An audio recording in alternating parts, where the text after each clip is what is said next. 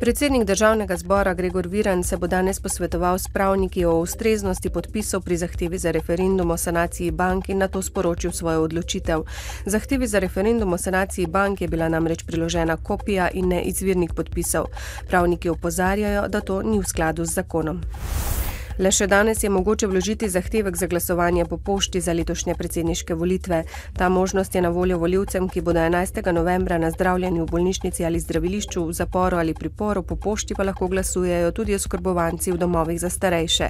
Zahtevo za glasovanje po pošti morajo poslati volilni komisiji v kraju, kjer imajo stalno prebivališče. Pri tržnici v Kopru je po noči eksplodiralo za zdaj še neznano eksplozivno telo. Policisti so na kraju našli mrtvega moškega, njegova smrt pa je najverjetneje posledica eksplozije. Ta je poškodovala tudi okna lokalov v neposrednji bližini. Sicer pa je bil park pri tržnici danes dopoledne videti povsem običajno. Okoliščine dogodka policisti še preverjajo. Sinoči so policisti in kriminalisti v Velenju preiskovali kaznivo dejanje povzročitve splošne nevarnosti. Neznani storilec je po noči med parkirnima osebnima voziloma v blokovni sosedski šalek nastavil ali odvrgal neznano eksplozivno napravo, pri čemer je bilo poškodovanih 14 parkiranih vozil, nastala je gmotna škoda za okoli 15 tisoč evrov. Kriminalisti na območju policijske uprave celje danes nadaljujejo zbiranjem obvestil.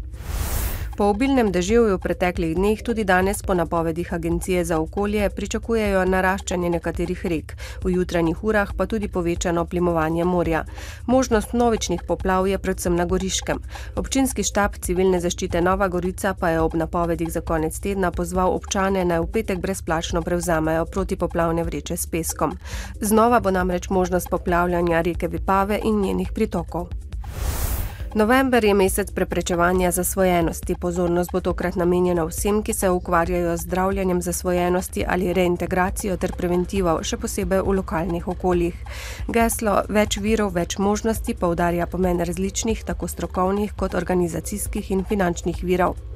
Iz nekaterih zavodov opozarjajo na težave pri dostopnosti programov selektivne preventive namenjene specifičnim ciljnim populacijam.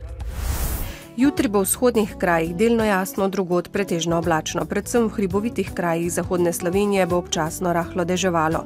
Najnižje jutranje temperature bodo od 2 do 7, najvišje dnevne od 10 do 18 stopinj Celzija.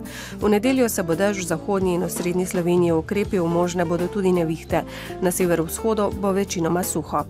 V ponedeljek bo deževalo tudi v severovzhodni Sloveniji, dež bo ponehal proti večeru. Veter bo čez dan oslabil.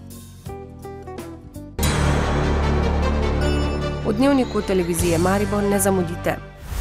Mariborski mestni svet preklical sejo o spornih radarjih. Odpadne sveče bodo odvažali postopoma.